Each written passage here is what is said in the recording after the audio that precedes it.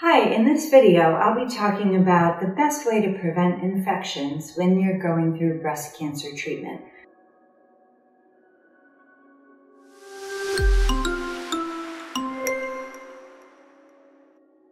I'm going to specifically be referring to chemotherapy. Maybe I'll start though with surgery.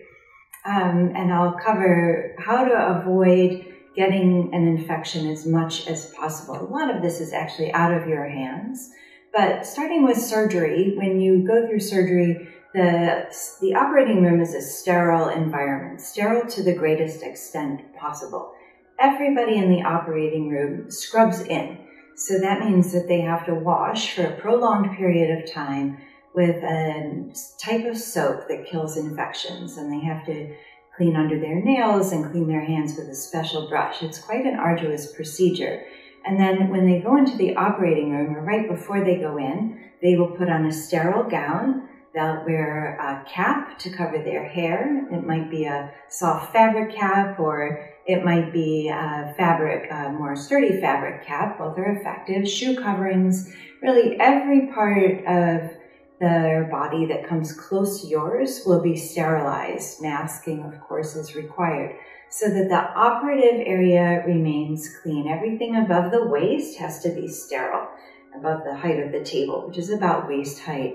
And instruments are sterilized at very high heat and then handed to the person who will be using the instrument, usually the surgeon, another surgeon, or the scrub nurse, using sterile technique.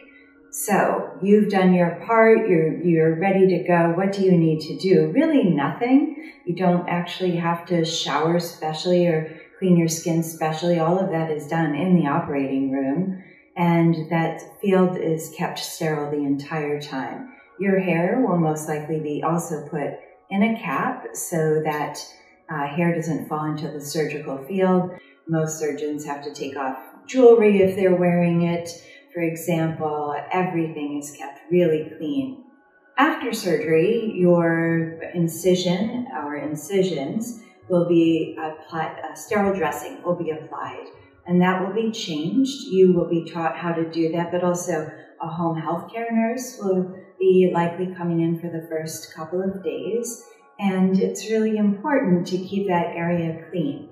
So you don't want to be lifting up the dressing and poking at the area, for example, which a lot of people want to do. You know, what does this feel like? And actually, if you have pain or redness or heat in the area, we will ask you to let us know, does it feel hot? So you'll usually feel with the back of a clean hand the area around the incisions to be able to answer your physician's questions about the area should you have pain or swelling.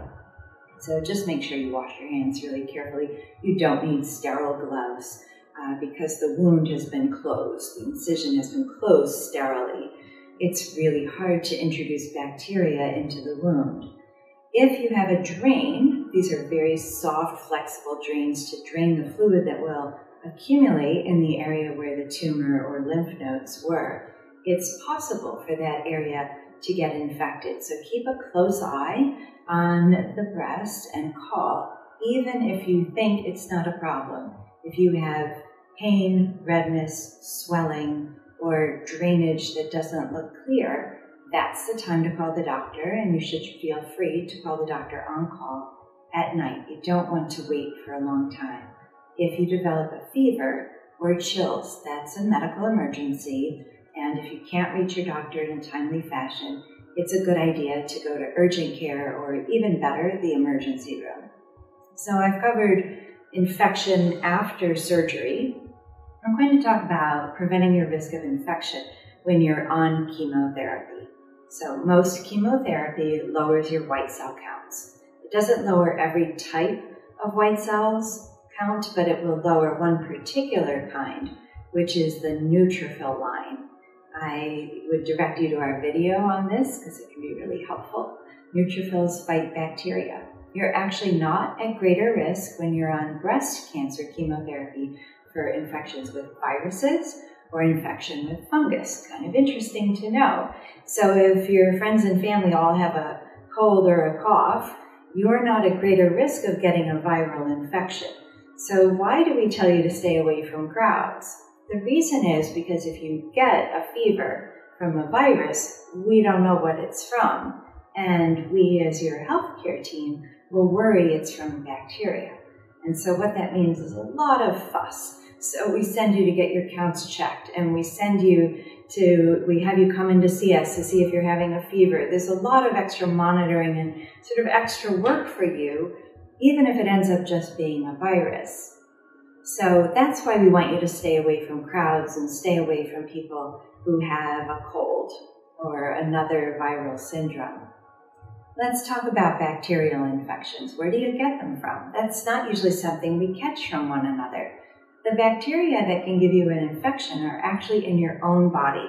So we have good bacteria all the way from our mouth to our anus. Really good bacteria to keep the fungus and yeast at bay and keep us healthy. Vitamins are made by bacteria in the gut, for example.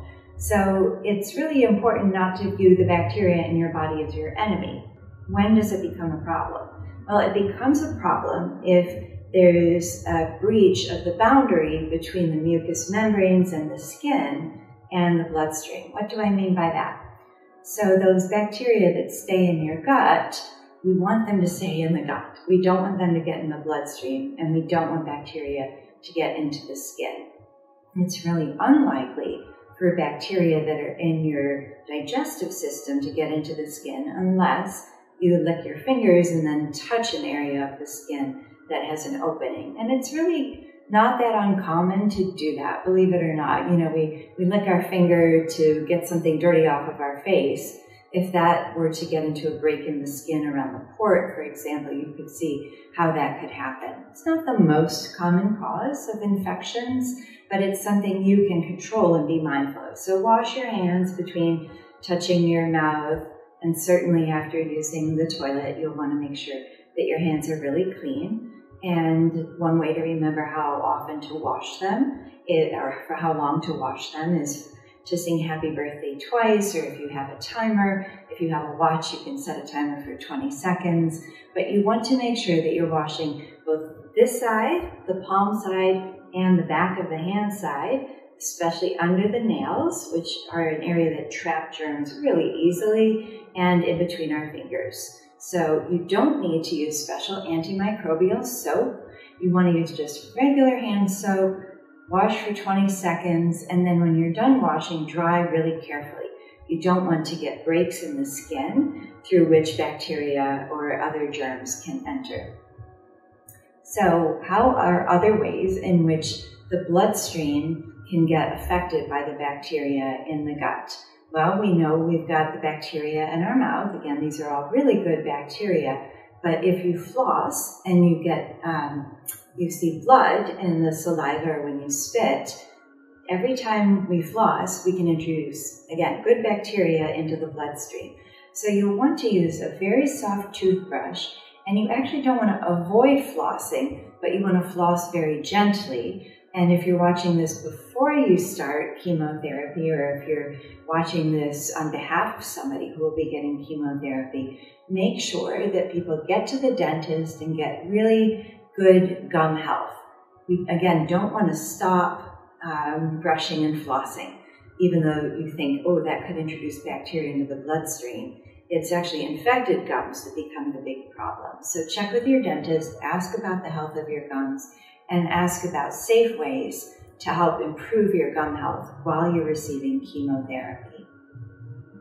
The other thing that can happen is bacteria can pass from our guts into our bloodstream, especially if we have mucositis. If you have mucositis or inflammation of the mucous membranes in the mouth, it's very likely that you have inflammation of the gut lining. And that's how we can get bacteria into the bloodstream. There is not a lot you can do about this. You can't sterilize your gut, and in fact, you don't want to. Remember, those good bacteria keep yeast infections away, and that's a lot harder to treat than bacterial infections. But I did want to explain how it happens that bacteria can get into our bloodstream. And again, there's not a lot you can do about this. If you find you're constipated, you'll want to make sure that you soften the stool so that you're not straining and having bleeding when you have a bowel movement. So work with your medical team. You may get constipated with chemotherapy. You may have diarrhea. And both of those are probably how um, bacteria get into the bloodstream. So you'll want to make sure that you talk with your team about managing diarrhea and constipation. You can use things like witch hazel pads, one brand name is Tucks, to keep the anal area very clean. And uh, there's not extra you need to do. You don't want to douche using vaginal douches. Um, actually flushes out the good bacteria, so you don't want to be doing that. Some people say to avoid tampons during your periods um, but that's not generally a way in which bacteria are introduced into the bloodstream. And if you are finding that you're having mucositis of the vaginal tissue, pads can be really hard for you. You could think about something like a cup, which won't cause um, erosion of the skin or irritation of the skin during your periods if you're having periods while you're on chemotherapy. I've covered a lot. I've covered um, how to uh, take care of your skin after surgery and the area of the drain when to call. With uh, chemotherapy, just as with surgery, if you develop a fever or shakes, you want to call it's a medical emergency. It's probably the one your doctors worry about the most. Your doctors, nurses, pharmacists, the rest of your medical team worry about the most. It's actually developing bacteria in the bloodstream when your counts are low.